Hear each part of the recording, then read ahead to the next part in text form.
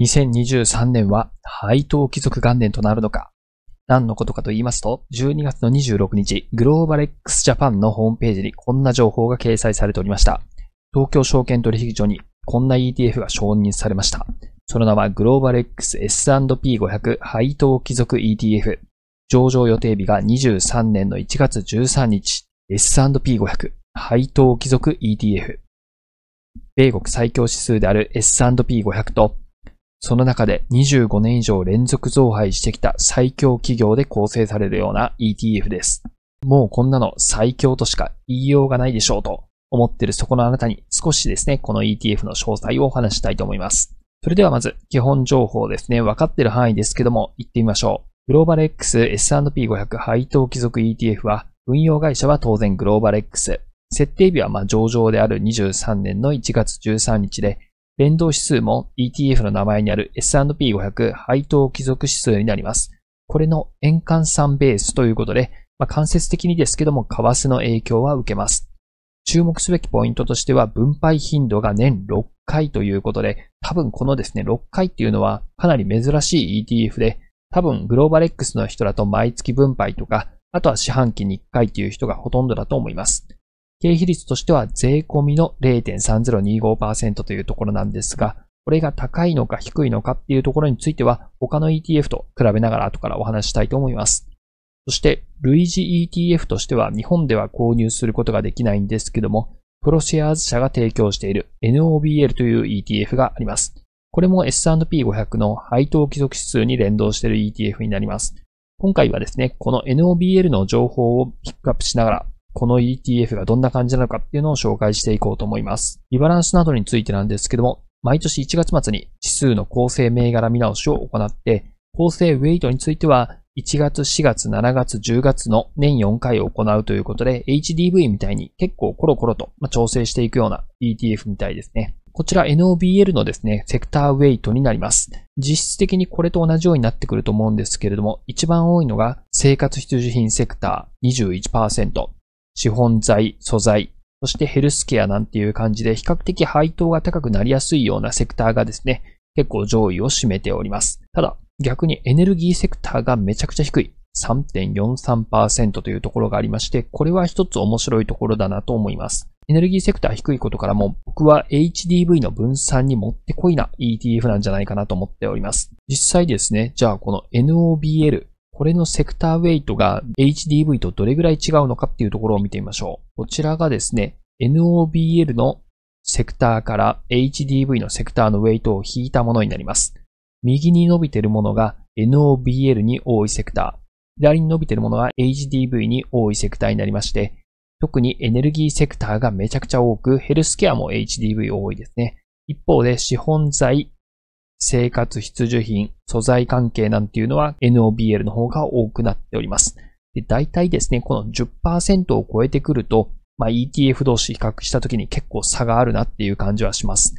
こんなことからエネルギーセクターの差がかなり大きいところ、特に HDV は一個一個の銘柄のウェイトもめちゃくちゃ高いんで、そういう意味でもですね、HDV の分散にはもってこいの ETF だと僕は思っております。そして、今回ですね、皆さんに知っといていただきたいのが指数。この指数なんですけども、S&P グローバル社が提供している指数でして、今回の ETF についてはこの S&P500 配当貴族指数になります。一方で似たような指数がもう一個ありまして、S&P 高配当貴族指数というものがあります。S&P も貴族指数も一緒なんで、ちょっとこんがらがっちゃうかもしれませんけども、ポイントといたしましては、S&P500 の中から選んでくるのか、S&P というもっと広い範囲から選んでくるのかという違いがあります。そして、採用銘柄のウェイトについても違いまして、S&P500 配当貴族指数は均等ウェイト。どれも同じような割合、SPYD みたいな感じになります。一方で、S&P 高配当規則指数の場合は、利回り過重指数と言われておりまして、利回りが高いほどウェイトが高くなるという傾向になります。それぞれに対応した ETF として、S&P 配当規則指数が NOBL、そして S&P 高配当規則指数は僕の動画でも何回か登場したことがあるんですけども、ステートストリート社が提供している SDY になります。どっちもですね、海外でも非常に人気な ETF になってきまして、もうこんな風にですね、NOBL と SDY、どっちがいいのかなんていう議論が1億回ぐらいスイキングアルファの中でも行われております。実際ですね、今分かっている情報をさらに日本で大人気な VIG と照らし合わせながら見ていきましょう。一番左が今回グローバル X から提供される ETF だと思って見ていただければと思うんですけれども、それぞれですね、誕生自体は結構古くて一番新しい NOBL でさえももう10年プレイヤーになります。指数についてはこんな感じになっておりまして、どれも S&P グローバル社が提供している指数になります。経費率、ここが大きな差ですね。NOBL と SDY は0.35%。そしてグローバル X の ETF が0.3025%だったんで、この2つよりもグローバル X は下をくぐってきたという感じになります。そして VIG はズバ抜けですね。0.06%になっております。そして構成銘柄数。NOBL は配当貴族という25年以上連続増配という非常に厳しいルールのため、構成銘柄数は64。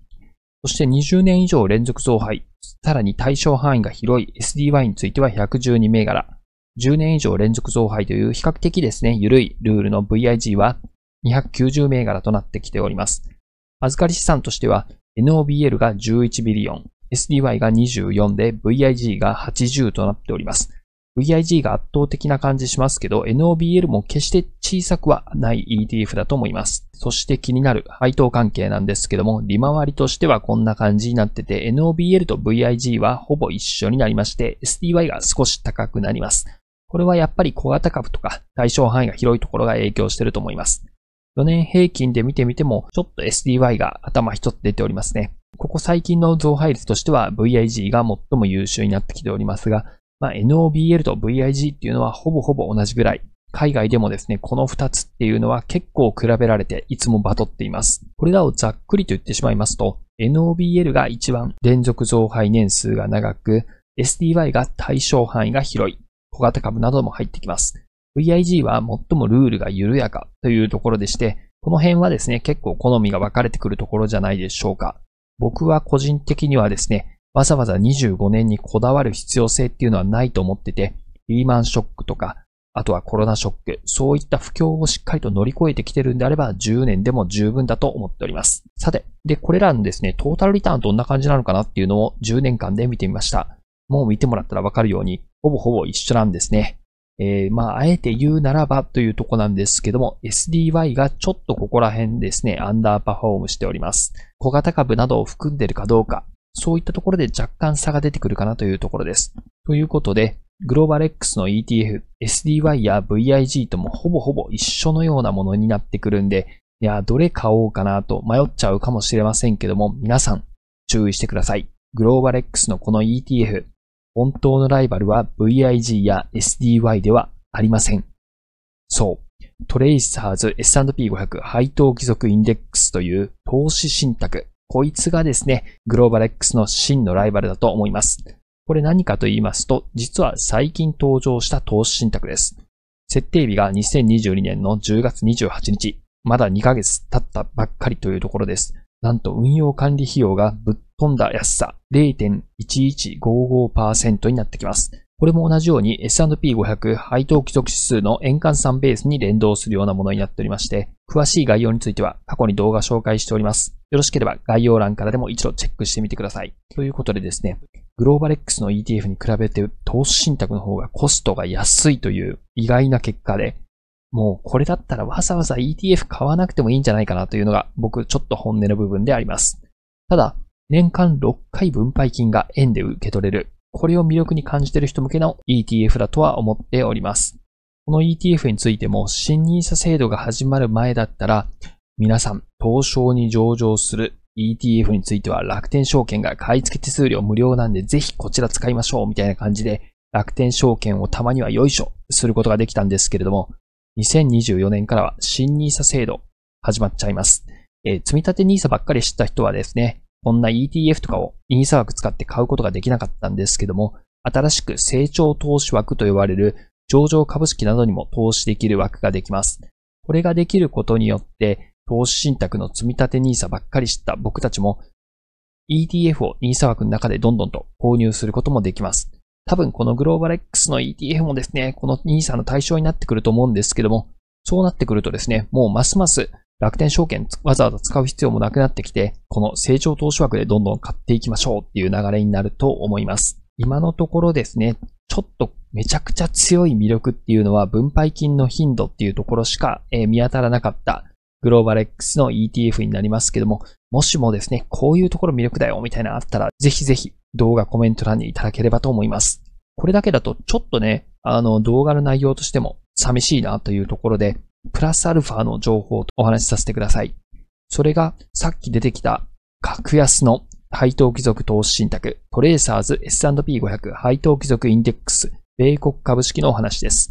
ちょうど21日に日光アセットマネジメントのホームページで、組入れ上位銘柄の紹介というのが出てました。この投資信託登場した時にはですね、構成銘柄がはっきりとは分かってなかったんで、そこら辺ちょっと見ていきたいと思います。まずは、この投資信託、えー、設定来からの資産の増え方、こんな風になっておりまして、基準価格自体は横ばいから微減っていう感じなんですけども、純資産総額はめちゃくちゃ綺麗に上がってきておりまして、2ヶ月経たないうちに43億円というところです。で、実際これどれぐらいなのっていうと、数年前から存在している野村のライバル投資信託、米国株式配当貴族年4回決算型のものだと、純資産総額が716億円。ということで、まだ10倍以上開きはありますけども、出だしとしてはですね、かなりいいスタートラッシュを切ってるんじゃないかなと思います。そして、このレポートの中で報告されていた上位構成銘柄、まあ64銘柄均等なんで、実際比率としてはほぼほぼ同じぐらいなんですけども、上位に一応来てたものとしてはエアープロダクツ、あとはキャタピラーですとか、ウォルグリーンなんていうところも来てますね。あとは VF コーポレーション。ここら辺も有名どころになりますね。バンズなどを取り扱ってる会社です。これらの銘柄ですね、実質配当利回り見てみると2%、1.9、1.11。ただですね、ところどころ3.8とか4.6、25年以上連続増配しているにもかかわらず、非常に高い利回りの銘柄ってのもポツポツあります。で、これらをですね、計算し直しました結果、平均の実績配当利回りっていうのが2.33%。今回のグローバル X の ETF も含めてなんですけど、利回りとしては2%ちょっとというところになってくると思います。多分 VYM よりもちょっと低い値っていうところでしょう。その数字を聞くと、うん、なんかちょっと物足りないなと思う人もいるかと思います。そんな人はですね、25年はちょっとまだ無理だけども、10年を超えてきて、イケイケの銘柄。例えば、バンクオブアメリカ。例えば、ベライゾン。例えば、ロッキードマーチン。ここら辺なんていうのを組み込んでいくのも面白いと思います。バンクオブアメリカは増配率がえぐいです。ベライゾンは利回り6%という驚異の利回り。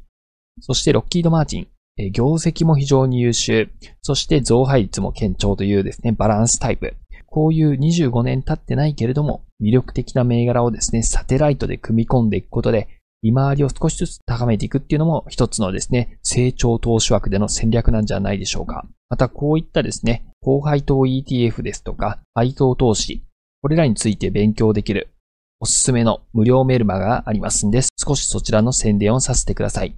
2023年は通勤時間のちょっとした時間に配当投資の勉強をしてみましょう。オックスフォードクラブが提供している無料メルマガ、これに登録するとなんと永久に持っておきたい6つの高配当米国株っていうのがわかる特別レポートを入手することができます。この特別レポート自体もすごい有益なものなんですけども、それ以上に僕が推したいのは、この無料メールマガ。メールアドレスここに貼り付けていただくだけでいいんですけども、毎日日常生活と絡めた投資の話題。こういうことがあるから投資していきましょうね。こういうことがあるから高配当っていいんだよね。そんなですね、投資を頑張っていくためのモチベーションとか、改めてなぜ投資をしなきゃいけないのかっていうところを勉強させてくれるような、すごい面白いメールマガジンになってます。内容もそんな長くなく2、3分なんで、朝の通勤時間とかでも簡単にチェックできます。よろしければ概要欄のリンクからぜひ登録していただければと思います。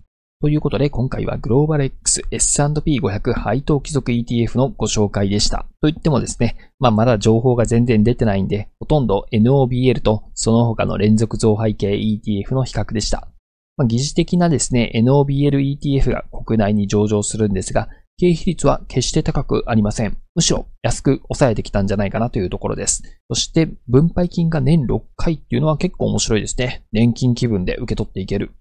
ただ、残念ながらトレーサーズのですね、投資信託に比べると今のところですね、強い魅力っていうのはなさそうですね。ここのところがですね、今後何か見えてこればいいんですけど、今のところ無理をしてこの ETF を買う魅力というのは分配金頻度ぐらいかなと思います。投資信託の方はかなり反応良かったんですけども、皆さん、この ETF についてはどう付き合っていく予定ですか？よろしければコメントいただければと思います。それではまた次回の動画で会いましょう。ご清聴ありがとうございました。